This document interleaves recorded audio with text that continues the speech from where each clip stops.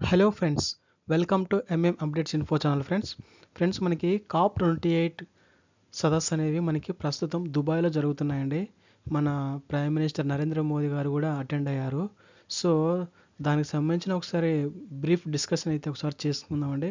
So important points అనేవి discuss చేసుకుందామండి. So ఇది ఎన్విరాన్మెంట్ అండ్ స్టడీస్లో భాగంగా మనకి. సో ఏ ఎగ్జామ్ తీసుకున్నా కూడా ఇది కంపల్సరీ వస్తుందండి ఈ టాపిక్లో సో సెంట్రల్ గవర్నమెంట్ కానీ స్టేట్ గవర్నమెంట్ కానీ bank railway SSC so any exam అండి. తీసుకున్న మనకి బిట్స్ రావడం జరుగుతుంది అండి సో ఒకసారి డీటెయిల్గా అయితే మనం చెక్ చేసుకుందాము. సో బ్రీఫ్ డిస్కషన్ వచ్చేసి మనకి కాప్ సదస్సు అనేవి యుఎన్ఎఫ్సిసిసి ఆధ్వర్యంలో జరుగుతాయి. సో మనకి ఈ యుఎన్ఎఫ్సిసిసి అనేది మనకి పంతొమ్మిది వందల తొంభై రెండు రీడిజైనరీలో ఇది బ్రెజిల్ అనమాట బ్రెజిల్లో ఉంటుంది. ఇది రీడ్ డిజైనర్ అనేది. సో అక్కడ మనకు ఏర్పాటు చేశారనమాట సో ఈ యుఎన్ఎఫ్సిసిసి పంతొమ్మిది అనేది మనకి మనకి ఏర్పాటు చేసినది పంతొమ్మిది వందల తొంభై రెండులో. బట్ మనకు అమలులోకి వచ్చినది పంతొమ్మిది వందల తొంభై నాలుగు నుండి అమలులోకి వచ్చింది. సో ఈ యుఎన్ఎఫ్సిసిసి అనేది సరిగ్గా అమలు అవుతుందా లేదా అనేది చూసుకోవడం కోసం ఈ సిఓపిని కాన్ఫరెన్స్ ఆఫ్ ది పార్టీస్ ఇదన్నమాట. కాన్ఫరెన్స్ ఆఫ్ ది పార్టీస్ని ఏర్పాటు చేసుకోవడం జరిగింది. సో ఈ మొట్టమొదటి సదస్సు సిఓపి ఫస్ట్ సదస్సు ఎక్కడ జరిగిందయ్యా అంటే మనకు జర్మనీలోని బెర్లిన్లో జరిగిందనమాట మొట్టమొదటి సదస్సు.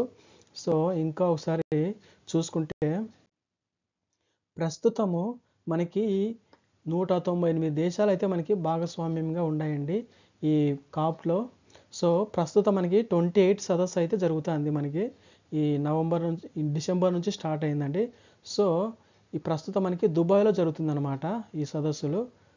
ఇంకా దీని యొక్క హెడ్ క్వార్టర్స్ చూసుకుంటే కనుక జర్మనీలోని బాన్ బాన్ నగరంలో ఉంటుందండి. ఈ యుఎన్ఎఫ్సిసిసి అనేది. సో యుఎన్ఎఫ్సిసిసి దీని యొక్క ఫుల్ ఫామ్ తీసుకుంటే united nations framework conventional and climate change. So ఇదనమాట ఇంకా ఒకసారి చూసుకుంటే కనుక సో మనకి ప్రజెంట్ జరిగేది కాప్ ట్వంటీ ఎయిట్ కదా సో బిఫోర్ అంటే పోయిన సంవత్సరం మనకి కాప్ ట్వంటీ ఎయిట్ అనేది కాప్ ట్వంటీ సెవెన్ అనేది మనకు జరిగిందనమాట సో దాని యొక్క ఇంపార్టెంట్ పాయింట్స్ ఒకసారి చూసుకుందామండి. సో కాప్ ట్వంటీ సెవెన్ సదస్సు మనకి ఈజిప్ట్లో జరిగిందనమాట పోయిన సంవత్సరము. ఈజిప్ట్ దేశంలో జరిగింది. సో ఆ రోజు లాస్ట్ ఇయర్ ఏం మీద డిస్కషన్ చేశారంటే ఎక్కువ? Loss and damage fund loss and damage fund మీద చర్చించడం జరిగింది. సో ఈ లాస్ అండ్ డ్యామేజ్ ఏంటంటే కనుక సో పర్యావరణాన్ని ఏ దేశం అయితే ఎక్కువగా అంటే సివోటు రిలీజ్ చేస్తూ ఉందో ఆ దేశంలో ఎక్కువ ఫండ్ అనేది ఇవ్వాల్సి ఉంటుందని చర్చించారనమాట ఇదనమాట loss and damage fund so దాని యొక్క థీమ్ ఏంటంటే కాప్ ట్వంటీ సెవెన్ యొక్క theme together for implementation so ఇంకా ఒకసారి చూసుకుంటే కనుక సో ఈ అంతర్జాతీయ పర్యావరణ సదస్సు కాప్ ట్వంటీ ఎయిట్ యొక్క ఇంపార్టెంట్ పాయింట్స్.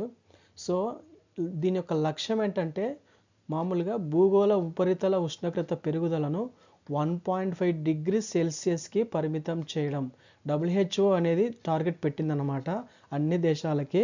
సో యాక్చువల్గా ఈ కాప్ ట్వంటీ ఎయిట్లో లాస్ట్ ఇయర్ అంటే రెండు వేల ఇరవై రెండులో ప్రపంచంలో ఏ ఏ దేశాలు ఎంత సీ ఓటును అంటే కార్బన్ ఉద్గారాలు రిలీజ్ చేశాయి అనేది మనకు రిలీజ్ చేశారండి. సో ప్రపంచమంతా కలిసి ఐదు వేల కోట్ల టన్నుల కార్బన్ డైఆక్సైడ్ను రిలీజ్ చేయడం జరిగిందనమాట సో మనకి రెండు వేల ఇరవై రెండులో ప్రపంచమంతా కలిసి ఐదు వేల కోట్ల టన్నుల కార్బన్ డైఆక్సైడ్ రిలీజ్ అయ్యండి సో ఇక్కడ మనకి దేశాల వారీగా చూసుకుంటే కనుక ఫస్ట్ వచ్చేసి మనకి చైనా అండి. చైనా ఎంత రిలీజ్ చేసిందంటే మనకి పద్నాలుగు వందల నలభై కోట్ల టన్నులు రిలీజ్ చేసిందనమాట. సో ఇది మనకు ఐదు వేల కోట్లు అనేది హండ్రెడ్ పర్సెంట్ అనుకుంటే థర్టీ పర్సెంట్ మనకి ఒక చైనా నుంచే రావడం జరిగిందండి. సో సెకండ్ ప్లేస్ వచ్చేసి మనకి అమెరికా ఉందన్నమాట అమెరికా వచ్చేసి ఆరు వందల ముప్పై ఒకటి ముప్పై తొమ్మిది కోట్ల టన్నులు అయితే మనకు రిలీజ్ చేసిందండి. సో ఇండియా అనేది ఇది చాలా ఇంపార్టెంట్ అండి. మన ఇండియా అనేది మనకి థర్డ్ ప్లేస్లో ఉందన్నమాట సీఓట్ రిలీజ్ చేయడంలో. మన ఇండియా వచ్చేసి త్రీ ఫిఫ్టీ టూ మూడు వందల యాభై రెండు కోట్ల టన్నులు అయితే మన ఇండియా రిలీజ్ చేస్తుందండి. సో యూరోపియన్ యూనియన్ కంట్రీస్ వచ్చేసి మనకి మూడు వందల నలభై మూడు కోట్ల టన్నులు రిలీజ్ చేశాయి అనమాట సో ఫస్ట్ ప్లేస్ వచ్చేసి చై రెండు వేల ఇరవై రెండులో రిలీజ్ చేసిన వాటిలో వచ్చేసి మనకి ఫస్ట్ ప్లేస్ చైనా ఉందండి. Second place America third place అయితే ఇండియా ఉండడం జరిగిందండి. సో ఇంకా చూసుకుంటే కనుక యాక్చువల్గా తలసరి కర్బన ఉద్గారాల్లో అయితే కనుక అమెరికా ఫస్ట్ అనమాట సో ఇది ఎట్లా చెప్పాలంటే కనుక అమెరికా అనేది చిన్న జనా తక్కువ జనాభా ఉంటారు. బట్ రిలీజ్ చేసేది మాత్రం కార్బన్ డైఆక్సైడ్ రిలీజ్ చేసేది మాత్రం ఎక్- ఎక్కువ అనమాట సో ఈ విధంగా కన్సిడర్ చేస్తే అమెరికా అనేది ఫస్ట్ వస్తుందన్నమాట. సో కర్బన యొక్క సీఓటు కర్బన ఉద్గారాలు అంటే ఏంటి అంటే కనుక బొగ్గు చమురు గ్యాస్ మండించినప్పుడు అవి వాతావరణంలోకి భారీ పరిమాణంలో కార్బన్ డయాక్సైడ్. కార్బన్ డయాక్సైడ్ను విడుదల చేస్తాయి. అది కొన్ని వందల ఏళ్ళ పాటు వాతావరణంలోనే ఉండిపోయి భూమిని వేడెక్కిస్తూ ఉంటుందన్నమాట. సో ఇదన్నమాట కాన్సెప్ట్. ఈ భూమిని వేడెక్కిస్తూ ఉండడం వల్ల ఎక్కువ భూమి ఈ యొక్క భూమి మీద వేడి ఎక్కువ అవడం వల్ల అనేక వాటికి ఇబ్బందులు అవుతాయన్నమాట. ప్రాణులు అవన్నీ బ్రతకడం కోసం. సో దాన్ని తగ్గించడం కోసం డబ్ల్యూహెచ్ఓ అనేది ఇట్లా కన్సిడర్ చేసిందండి. CO C conference of the parties అనేది. ఏర్పాటు చేసుకోవడం జరిగింది. సో మన మోదీ గారు వెళ్ళారు కదా దుబాయ్కి. ఇక్కడ ఏంటంటే ఆల్రెడీ ఈ స్కీమ్ అనేది మన ఇండియాలో ఇంప్లిమెంట్ చేస్తున్నారనమాట so green credit initiative program అనేది. సో దీని గురించి మన మోదీ గారు అక్కడ దుబాయ్లో ఎక్స్ప్లెయిన్ చేయడం జరుగుతుందన్నమాట. సో ఇదేంటంటే అక్కడ భారతదేశం తరపున మేము ఇలా స్కీమ్ ప్రొవైడ్ చేశాము. సో ఇట్లా ఇనిషియేటివ్స్ ఇట్లా ఇస్తున్నాం అనమాట అని అక్కడ మోదీ గారు ఈ స్కీమ్ గురించి ఎక్స్ప్లెయిన్ చేయడం జరిగిందనమాట సో ఈ స్కీమ్ అనేది చాలా ఇంపార్టెంట్ అండి. సో ఈ ప్రోగ్రామ్ను భారత ప్రభుత్వం ఈ ఏడాది అక్టోబర్లో ప్రారంభించిందనమాట ఈ ఏడాది అక్టోబర్లో ప్రారంభించింది. రెండు వేల ఇరవై మూడు అక్టోబర్లో గ్రీన్ క్రెడిట్ ఇనిషియేటివ్ ప్రోగ్రామ్ అనే స్కీమ్ను ప్రారంభించింది. సో ఏంటి ఈ స్కీమ్ అంటే కనుక పర్యావరణ అటవీ రెండో పాయింట్ చూసుకుంటే ఒకసారి ఈ స్కీమ్ అనేది ఏ శాఖ ఆధ్వర్యంలో ఏర్పాటు చేశారంటే ministry of environment forest and climate change పర్యావరణ అటవీ మరియు వాతావరణ మార్పు మంత్రిత్వ శాఖ. ఆ శాఖ ఆధ్వర్యంలో ఈ స్కీమ్ని ఏర్పాటు చేశారండి.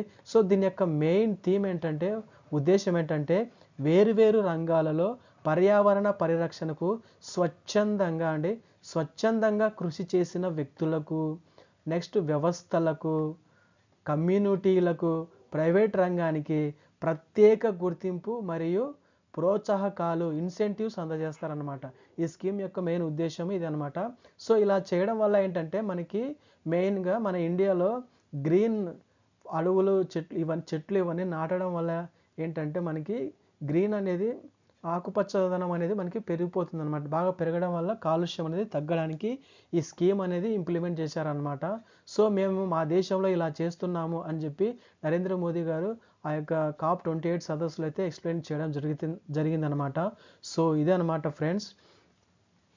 ఇంపార్టెంట్ పాయింట్స్ అయితే ఇవన్నమాట. ఒకసారి చెక్ చేసుకోండి. సో వీడియో ఎలా ఉందో ఒకసారి కామెంట్ చేయండి ఫ్రెండ్స్. వీడియో కనుక నచ్చినట్లయితే లైక్ చేయండి. షేర్ చేయండి కామెంట్ చేయండి ఫ్రెండ్స్. సో ఇంకా ఎవరైతే ఛానల్ సబ్స్క్రైబ్ చేయలేదో సబ్స్క్రైబ్ చేయండి friends. Okay thank you. Thanks for watching. Please subscribe my channel.